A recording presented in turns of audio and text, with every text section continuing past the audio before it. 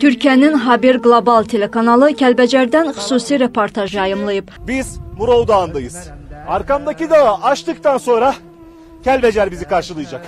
Kanalın Kəlbəcərə ezam olunmuş müxbiri Osman Girgin xatırladıb ki, Ermənistanın hücumları nəticəsində 93-cü ildə Kəlbəcər sakinləri olan Azərbaycanlılar şaxtalı havada bu bölgənin cığırları ilə 3 gün ərzində ayaqyalın yol gedib öz torpaqlarında köçkün olublar. Reportajda həmin dəhşətli anları əks etdirən kadrlarda nümayiş etdirilib.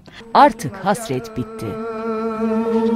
Qeyd edilib ki, Ermənistan silahlı qüvvələrinin 27 il işğal altında saxladığı bu bölgədə törədilən dağıntıların, yanğınların izləri hər yerdə var.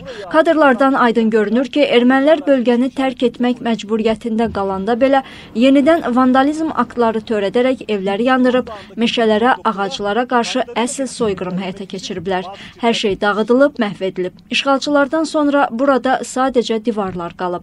Azərbaycan ordusunun əskərlərinin işğaldan azad olunmuş torpaqlarda bir nişanə qoymaq üçün divarlara yazdıqları yazılar da tamaşaçıların diqqətinə çatdırılıb. General Polat Haşimov'un ismi buraya bir boya yardımıyla yazılmış gördüğünüz gibi. Artık bu caddenin adı Polat Haşimov Caddesi yani küçesi.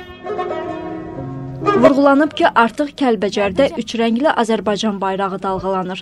Bölgənin təhlükəsizliyi və bu yerlərdə həyatın yenidən qaynaması üçün əsaslı işlər görülür. Bu noktada.